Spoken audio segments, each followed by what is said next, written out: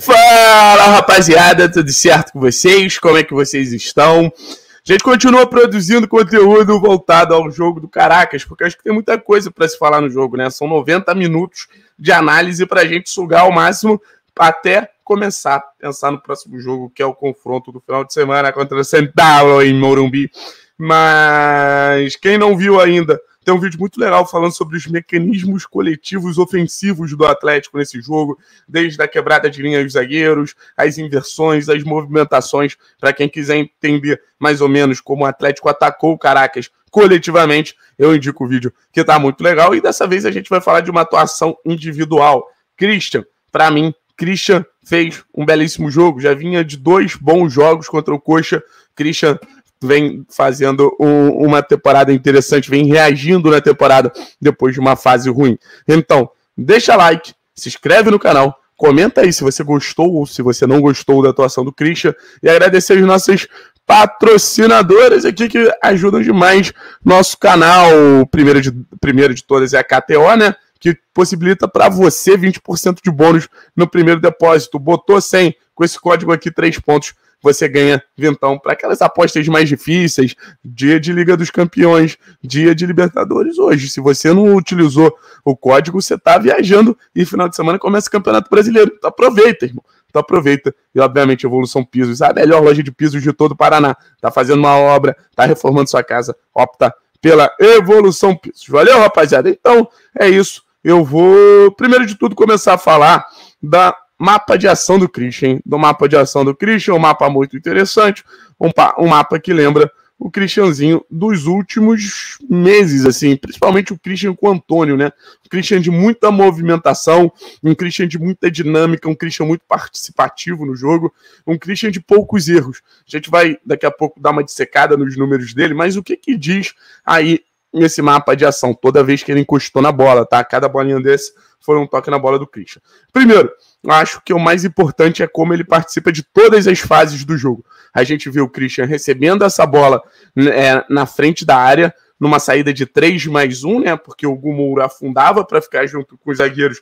O Christian é, era esse cara responsável de pegar a bola desses três nomes: Lucas Halter, o Gumura e e o Pedro Henrique e fazer essa saída, fazer essa transição. Então a gente vê aqui antes do meio-campo também é, várias bolinhas na entrada da área, assim, porque o Christian era responsável por essa movimentação. Em algumas situações ele lateralizava, tanto pela direita quanto pela esquerda, para receber essa bola com mais espaço, mas era um verdadeiro meio-campista, sabe? Então a gente via o Christian também numa zona de construção, o que é muito importante para um volante, para um segundo volante. É, o Christian também participando bastante. Olha quantas bolinhas verdes você tem aqui no meio-campo, da intermediária defensiva até a intermediária ofensiva. Realmente é um Christian que povoou bastante esse meio-campo, sempre com toques rápidos, sempre tirando o jogo da pressão, era massacrado, girava o jogo, era apertado, girava o jogo, buscava inversões de bola. O time funcionou bastante através dessas movimentações do Christian. Eu também tenho um Christian se aproximando da área, um Christian buscando finalizações de média a longa distância, um Christian entrando na área, sabe como foi aquele lance que ele tenta rolar para o Vitor Bueno num toque. Então a gente vê aqui como, como o Christian realmente funcionou em vários setores, em vários momentos, em várias fases da partida. Agora a gente vai ler alguns números né, que, que contextualizam como o Christian foi bem. Defendendo, hum, são números bem discretos, né? Um drible sofrido, a gente sabe que, que talvez a grande dificuldade que o Christian tenha é essa fase defensiva, né? Então, é, um drible sofrido é até um bom número, levando em consideração a falta de combate, a falta de, de uma marcação mais agressiva por parte do Christian. Então, estou tranquilo quanto a isso. E um duelo vencido teve dois duelos é, perdidos, de três duelos ganhou um. Tá bem, assim, porque o Christian em algum momento chegou a entrar num limbo, né? Era um cara que não defendia tão bem para ser um volante, não criava tanto para ser um meia e nem chegava tão bem na área para ser um meia atacante. Então, é, a gente chegou a se perguntar em algumas vezes o que é o Christian. Mas beleza, defendendo ele realmente não vai tão bem.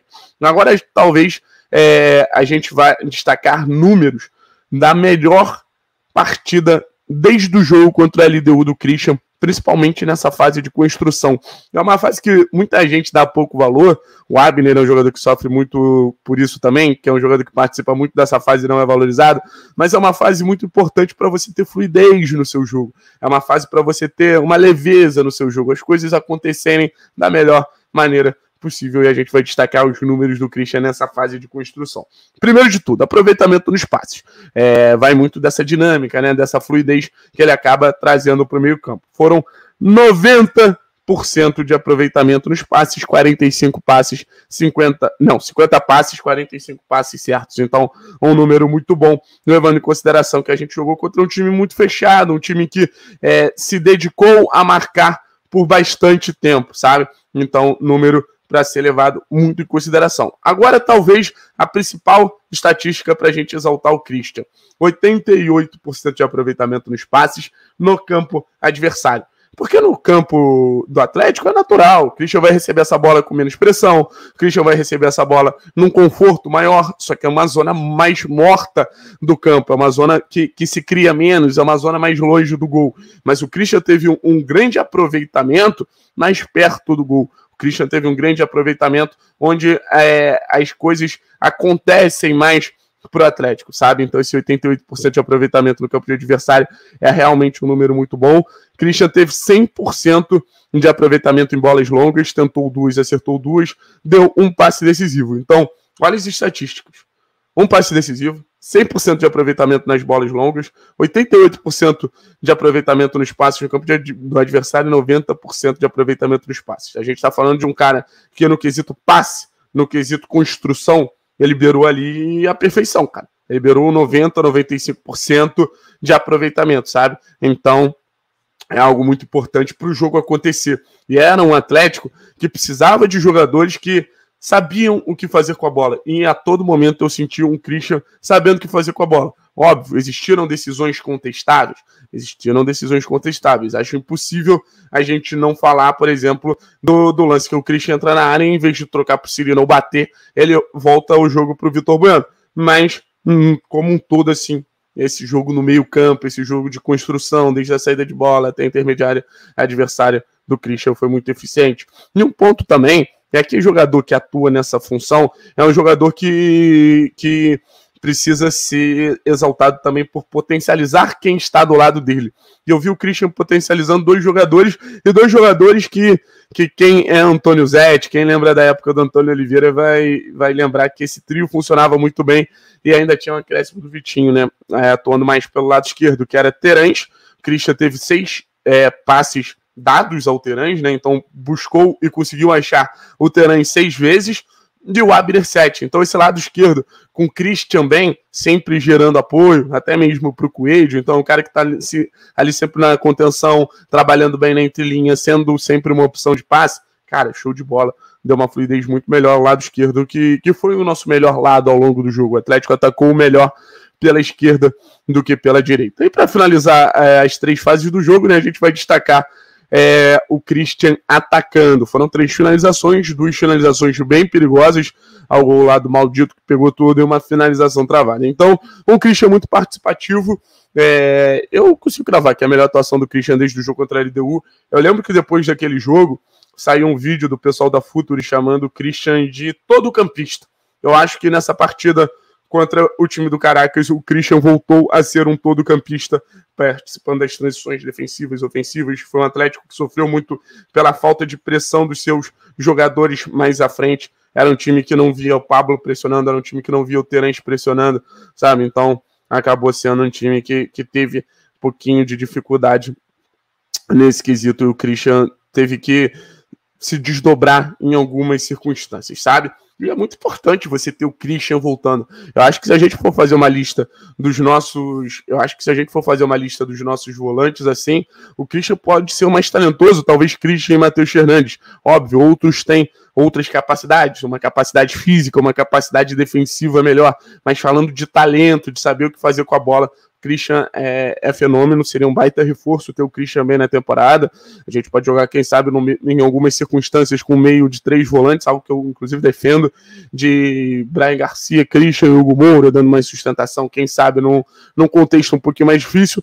E um jogador que pode dar um retorno financeiro ao Atlético muito importante também. É um Christian que já foi sondado por clubes europeus, é um Christian que tem é, um perfil europeu de ser esse box to box, como alguns gostam de falar, de ser esse jogador dinâmico, de ser esse jogador que, que busca a todo momento criar algumas circunstâncias é, de jogo, um jogador inquieto, né? Então, ter esse retorno do Christian é muito importante. Já dá para cravar que o Christian voltou? Acho que precisa de uma sequência maior, mas é animador você ver uma partida tão boa de um jogador tão importante. Valeu, pessoal! Tamo junto, a nós. Obrigado pela moral de sempre. KTO, Evolução Pisos. Muito obrigado, hein?